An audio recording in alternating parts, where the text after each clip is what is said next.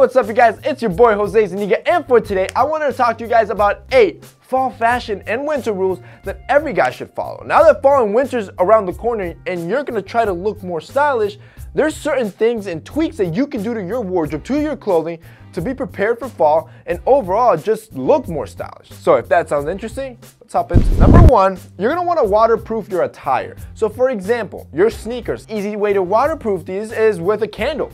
You can literally take a candlestick and using the wax from a candlestick and a blow dryer, you can rub the wax on the canvas sneaker and then using a blow dryer on high heat, seal all of that in and within seconds and pretty much for free, you have waterproofed your sneakers. You can do the same thing with your top coats or jackets. Say you have a canvas army coat. If you have a canvas army coat, you can actually go to a camping store like Bass Pro Shop and buy yourself a waterproof spray and will keep you dry all fall and winter. Number two, you're gonna wanna dial down on the bright colors. And usually during fall and winter, you're gonna want more muted colors. And this is also for a functional reason. Not only are they gonna be in style, but darker colors tend to absorb the sunlight and and keep it closer to your body, which is gonna keep you warmer. Whereas lighter colors or brighter colors do a better job of reflecting the sunlight, which is definitely not what you want since you're probably gonna be in freezing temperatures and you wanna stay warm. Three, you wanna get rid of anything that's sleeveless. It's a sad day, boys. I know summer's over, which means all those Hawaiian shirts and tank tops, you gotta put them away. And in its place, you wanna replace it with long sleeve pieces that will keep you warm. For example, for fall, I love trading my regular polos for long sleeve polos, like this one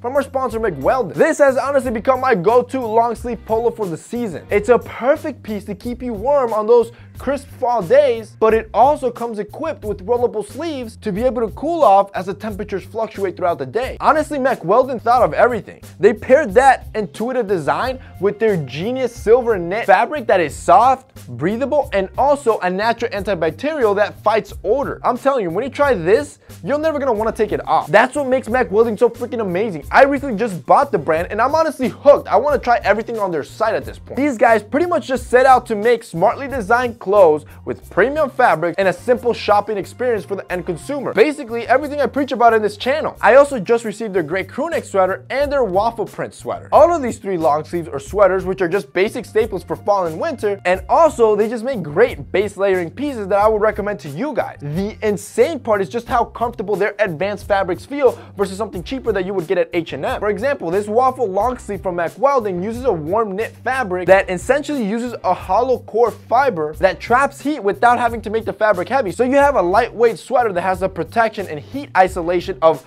a thick sweater, but something that's more comfortable. Honestly, you guys have to check out Mack Weldon. Like I said, these guys kill it when it comes to basics for guys and their simple shopping experience. And if you wanna see just for yourself how easy it is to shop and how amazing their stuff is, there's gonna be a link down below where you guys can go check it out. You can go to mackweldon.com and you can use code TMF to get 20% off. That's amazing. So if you guys wanna check it out, it'll be linked down below. The fourth thing you're gonna wanna invest in is versatile outerwear. See, unlike dress shirts or t-shirts, you don't need to have 30 different jackets to look good in winter. Instead, you wanna have like three to four core pieces that are versatile that you can wear, mix and match, and layer. So for example, a very smart piece to have, a denim jacket. So on like cool days, you can wear a denim jacket with just a t-shirt.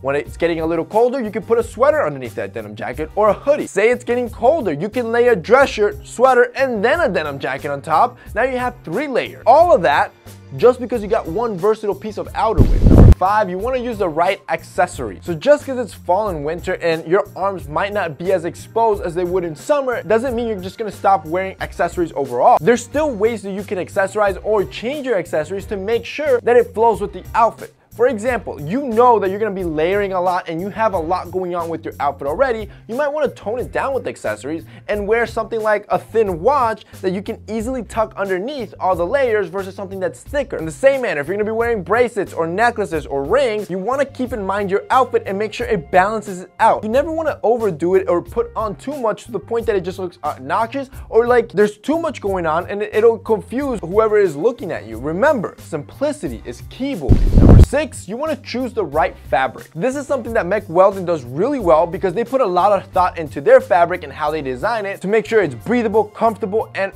appropriate for the season. So what you want to look for when you are buying clothes or using clothes for fall and winter, you want to make sure you're opting for thicker fabrics that are insulating heat. Just like choosing the right colors and removing brights, you're going to want to remove all those lightweight fabrics like your light cottons, your linens, and your light wool. Number seven, you want to use appropriate footwear. Fall and winter is definitely not a time where you're going to want to be wearing a lot of knit, canvas, or anything that's open weave. So your Converses, your Nike Vapor Maxes, your Ultra Boost, these are horrible to wear during fall and winter because they're just really gonna get ruined and your feet are gonna be frozen. Instead, you wanna opt for chunkier sneakers, especially leather ones, because leather ones are gonna be a, do a better job of repelling against the moisture and also keeping your foot warm. Even better, your best option is boots. I mean, this is boot season. Why wouldn't you wanna wear boots? Not only do they make you look taller, they look badass and on top of that, it's the shoe that does the best job protecting against the element. And finally, number eight,